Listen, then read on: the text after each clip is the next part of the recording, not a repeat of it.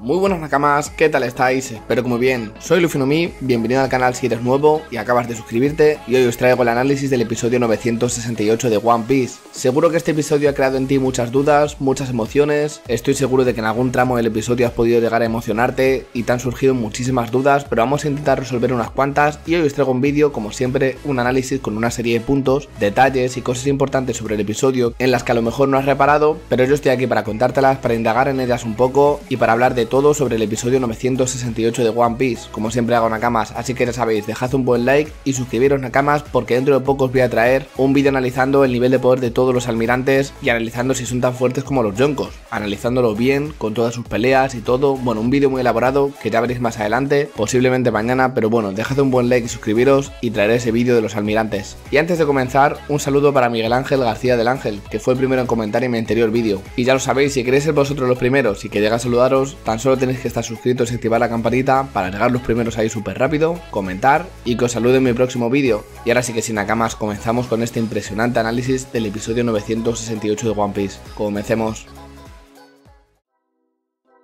Lo primero que vamos a comentar, Nakamas, la vuelta de Oden y toda la tripulación de Roger a Wano. Y la razón de esto es que ahí se encontraba el tercer Road Poneglyph que le faltaba a Roger. Sabemos que el primero lo consiguió peleando con Big Mom y Whole Cake, aunque no se detalla demasiado cómo lo consiguió. Sabemos que el segundo Road Poneglyph Roger lo consiguió en la isla Yorin, aunque ese Road ahora mismo no se encuentra ahí, ya que cuando Luffy y los Mugiwaras pasaron por ahí no lo encontraron. Y el paradero de este Road Poneglyph es desconocido y es el último que le faltaría a Luffy y que no sabemos dónde está. Y aquí estaría Nakamas, el tercer Road Poneglyph de Roger ni siquiera se muestra en pantalla, imagino que para no hacer spoilers de lo que va a pasar ahora en One Piece, para no hacer spoilers de dónde lo va a encontrar Luffy, pues simplemente se ve que Oden hace una copia, bueno, ni se ve. Oden dice, nah, hizo una copia rápida del Road Poneglyph y nos fuimos, porque si no me habría quedado en Wano para siempre, habría vuelto. Así que la tripulación de Roger llega a Wano y rápidamente se está yendo de allí con la copia del Road Poneglyph. Y creo que no se nos muestra el Road precisamente por eso, porque lo primero ha podido cambiar de ubicación y encontrarse en Onigashima ahora, ya que Robin no lo encontró en el Palacio de Orochi,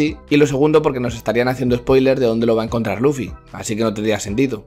Y vamos con el segundo punto y es que Toki se encuentra enferma y debe quedarse en Guano con sus hijos. Al menos es lo que Crocus dice, ya sabéis que Crocus como médico pues es un maldito loco. Está tratando la enfermedad de Roger, sabe bastante de enfermedades, vamos a ver que Crocus tiene mucho trabajo últimamente, luego lo veremos. Y el caso es que Toki se encuentra enferma y Parece ser que no puede seguir viajando, que es mejor que se quede en Guano ya que están ahí cerca y que no dé tanta vuelta. Pero claro, Toki obliga a Oden, amenazándole con dejarle si no, con romper su matrimonio si Oden no continúa con su viaje, ya que ese es su sueño. Viajar por los mares, conocer nuevos lugares, vivir aventuras. Así que eso, Toki amenaza literalmente a Oden con romper el matrimonio si no sigue con su sueño, si no sigue teniendo aventuras y se queda con ella en Guano. Porque ella piensa que sería egoísta que por encontrarse enferma Oden tuviera que dejar su viaje. Y en ese momento es cuando llegan a Guano y pasamos al tercer punto, Nakamas. Y es que creo que hay pocos viajeros en Guano, o bueno, esto es una mini teoría, por así decirlo. Bueno, mini teoría, tampoco esto es una teoría súper legendaria de One Piece. Una conjetura, y es que creo que hay pocos viajeros en Guano. Hay pocos piratas, o viajeros en general, que lleguen a Guano, Nakamas. Y me baso en esto en que cuando los vainas rojas ven el barco de Roger a lo lejos,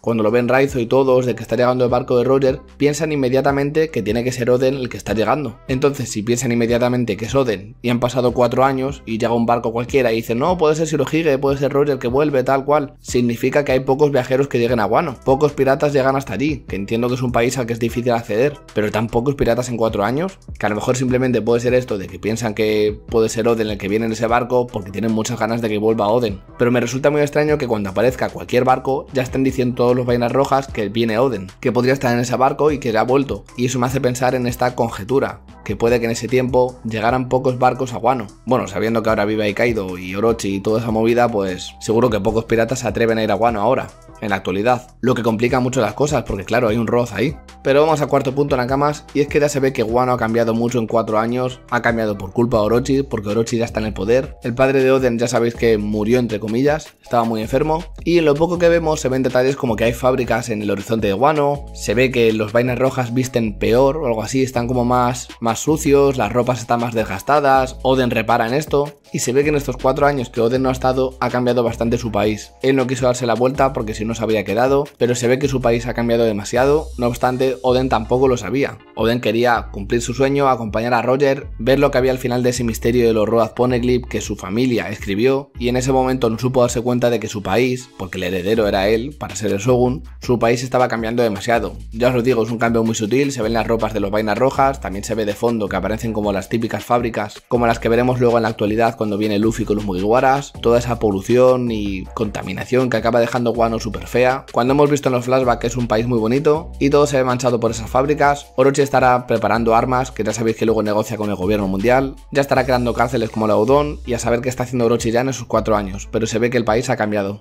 Vamos al quinto punto Nakamas y es que vemos otra vez Zou. En el anterior episodio ya vimos Skypiea, vimos Water 7, vimos la isla Yojin y esta vez es el turno de Zou. Bueno, además de Wano, que bueno, ya habíamos visto Wano, pero Luffy también pasó por Wano y también vemos Zou como Luffy pasó por Zou. Y es curioso que Roger vaya a Zou a conseguir su cuarto Roaz Poneglyph, que es el primero que consiguió Luffy. Así que Roger va a Zou, consigue su cuarto Roaz Poneglyph exactamente en el mismo lugar donde Luffy lo consigue, donde Luffy consigue su primer Roaz, lo cual como he dicho es anecdótico y también es curioso que tanto Oden como Roger escuchan la voz de Zunisa Nakamas, al igual que cuando pasaron por aquí Luffy y Momo, como comenté en el anterior episodio, escucharon la voz del gran animal este. Esto me sigue pareciendo un gran misterio y Nakamas, no sé por qué, pero creo que puede estar relacionado con eso de los Roaz y puede estar relacionado con, con el destino este que tiene que cumplirse para llegar al One Piece, que en el One Piece haya una gran información, que que allí se resuelvan todos los misterios, las indicaciones para llegar hasta allí con los Roaz, una isla a la que no ha llegado nadie, la información sobre Poseidón que hablábamos en el anterior episodio. Es como que las personas que escuchan la voz de esto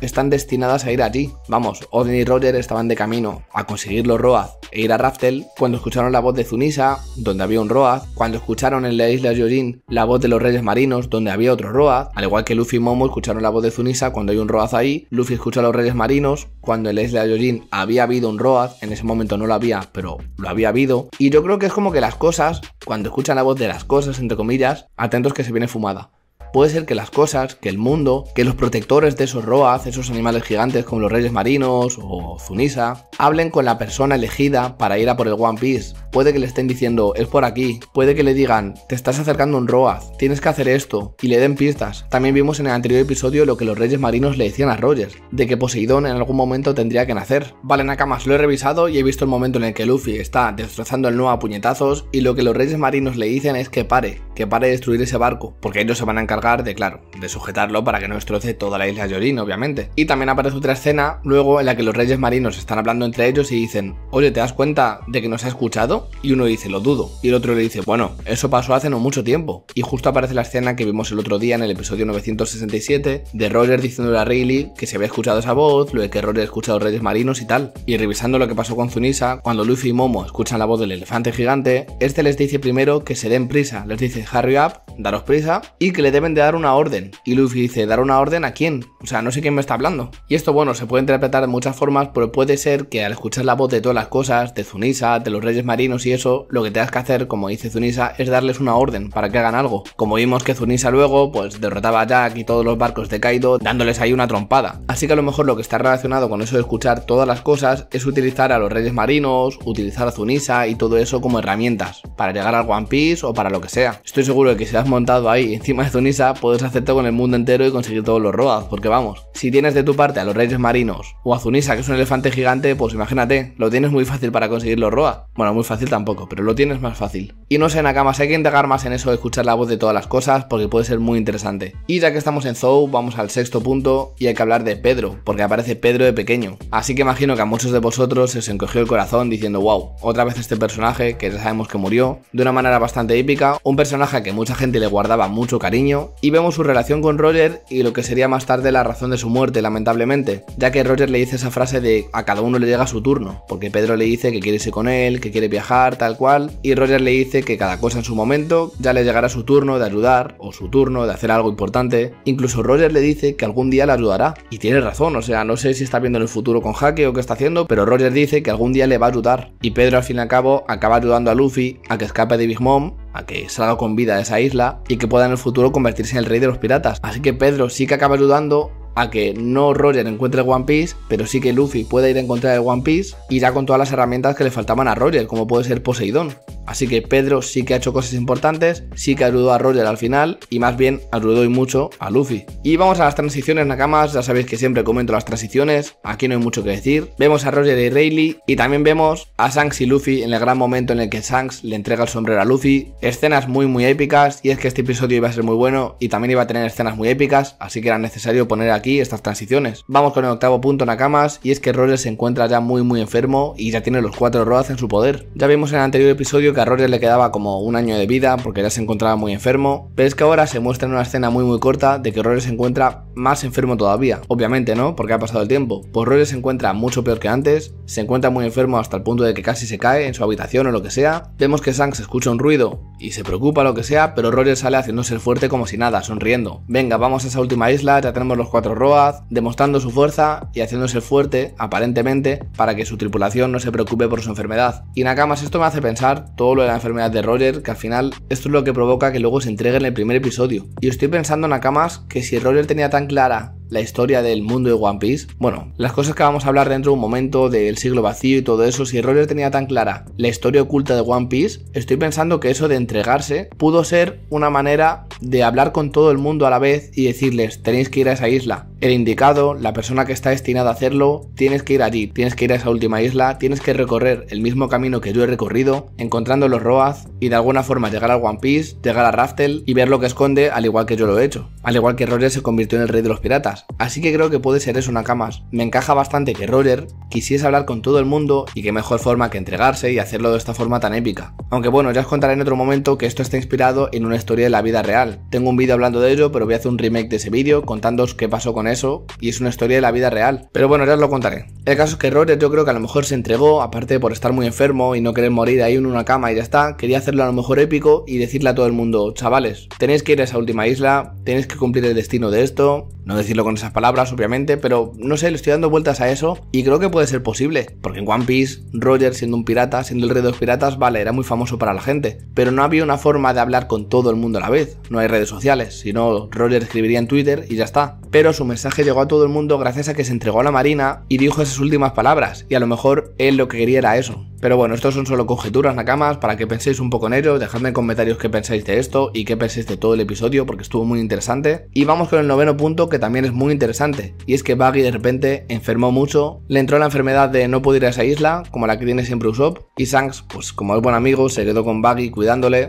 Y ya tenemos aquí la respuesta a una pregunta que llevamos haciéndonos años. Y es que sabíamos que Buggy y Shanks eran de la tripulación de Roger. Entonces todos nos preguntábamos, entonces tanto Shanks como Buggy saben lo que es el One Piece, si formaban parte de la tripulación de Roger. Y el caso es que no, ni Shanks ni Buggy viajaron hasta el final, viajaron hasta Raftel y conocieron los secretos de One Piece y lo que es el One Piece. Así que creo que eso despeja una de las dudas más grandes que puedes hacerte como fan de One Piece, una pregunta que llevamos haciéndonos años. También vemos así anecdóticamente que Buggy usa su fruta, es decir, ya la había consumido en este momento de la historia, porque vemos cómo separa su torso de sus piernas. Y pensando en esto, Nakamas, pensando en las ganas que tenía Buggy de ir con Roger a a One Piece, atentos, eh, que se viene fumada. Viendo las ganas que tenía Buggy de llegar allí, de conocer el One Piece, de ir hasta la última isla y todo eso, no sé por qué, pero no es una teoría, ¿vale? Simplemente estoy diciendo que me gustaría, con lo que me gusta a mí el personaje de Buggy, me gustaría, por muy improbable que sea, ya lo sé, Nakamas, no ríais de mí, me gustaría mucho que Buggy fuese con Luffy a Raftel. O sea, ya lo sé, es una locura, no tiene ningún sentido, no tiene por qué pasar. Pero me gustaría que Buggy, que ya se quedó con las ganas y no fue con Roger a conocer el One Piece, me gustaría que de alguna forma Buggy ayudase más a Luffy en lo que queda de historia. Ya sé que no es muy guara, ¿vale? Ya sé que esto es una locura. Pero estaría muy guapo y a mí por lo menos me haría feliz que Buggy viese el One Piece con sus propios ojos, ya que no pudo verlo con su capitán, cumplir ese sueño de niño e ir con Luffy de alguna forma y descubrir lo que es el One Piece. Al menos a mí me parecería bonito, ¿vale? Ya sé que no va a pasar, ya sé que es muy imposible, pero a mí me parecería bonito. Simplemente quería comentarlo, aunque sea una locura. De cualquier forma, Shanks dice que en algún momento Buggy y él irán con sus propios barcos, con sus propias tripulaciones y todo eso, así que todavía hay esperanza, quién sabe. Por cierto, Nakama, se me ha olvidado hablar de una cosa, en el anterior punto, el octavo, lo de Roger, que él tenga la intención de que todo el mundo conozca lo de las Roaz y todo eso,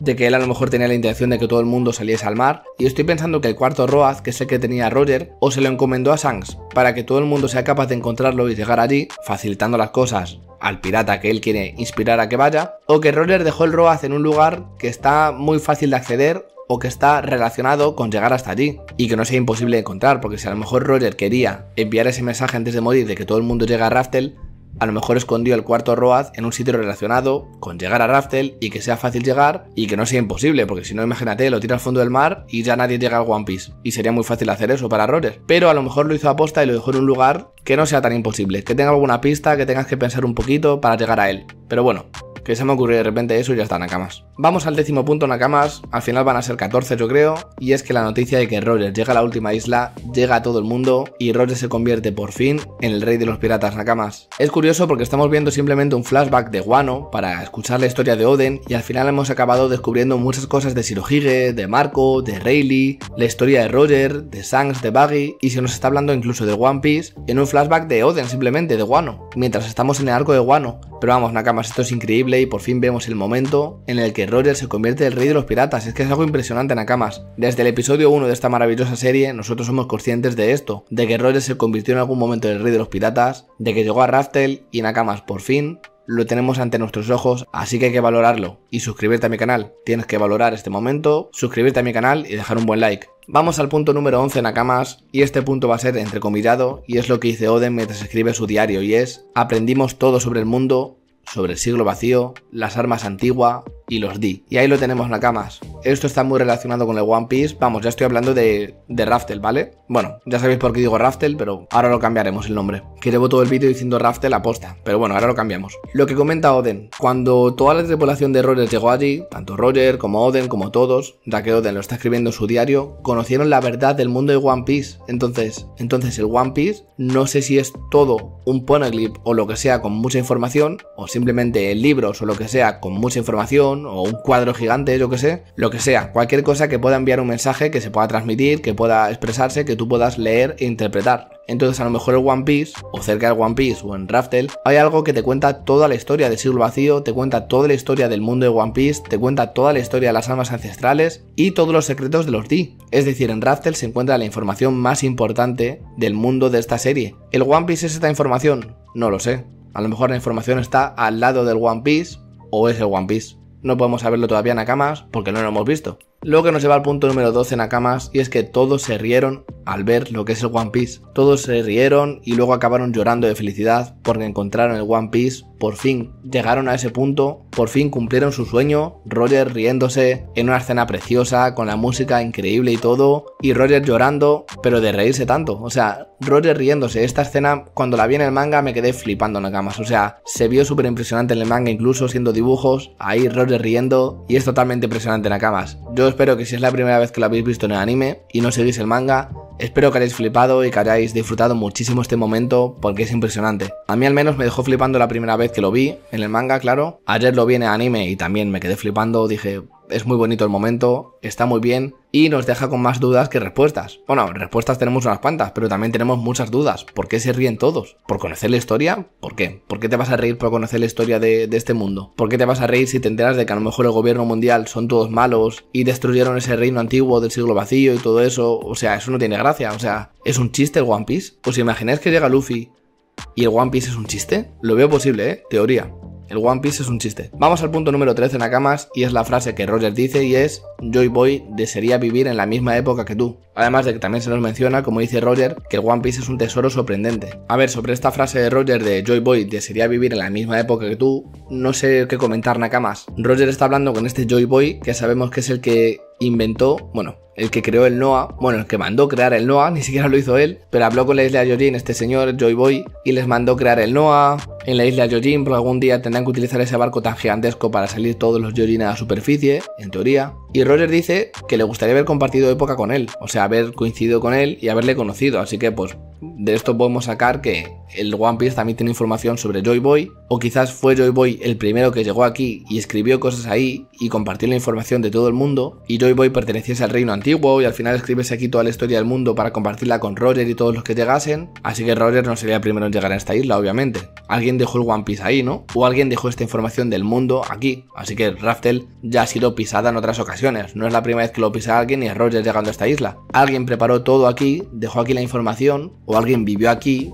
y Raftel fue el lugar en el que se encontraba el reino antiguo y por eso allí se encuentra tanta información, además de One Piece. Pero quién sabe Nakamas es que todavía no podemos saberlo, hay muchas preguntas porque claro, ¿cómo vamos a estar hablando ahora de lo que es el One Piece? Si One Piece se llama la serie y aún queda mucho por descubrir y muchas preguntas. Así que es muy difícil hablar de esto porque es como intentar hablar ahora del final de la serie directamente y del misterio más grande de la serie, así que todavía no hay muchas respuestas. Pero vamos al punto número 14 y por fin Nakamas en el canal. Ya sabéis que yo sigo el manga, pero sabéis que siempre intento no hacer spoilers y vamos a dejar de lado ya Raftel y vamos a empezar a decir en este canal Loftel. O como queréis pronunciarlo Nakamas, ya sabéis que mi inglés no es el mejor del mundo, pero Raftel no, Laftel, que es como Roger llamó a esta isla, y algo así como que la traducción sería el cuento de la risa, por todo el viaje, el cuento, la aventura que hicieron Roger con su tripulación, con Oden, con Rayleigh, Buggy, Shanks, con todos, para llegar a esa isla, esa aventura y al final reír, reír al llegar. Así que esta isla ya no es Raftel Nakamas, nunca más lo va a ser. Bueno, a lo mejor si me da pereza y no quiero decir Laftel,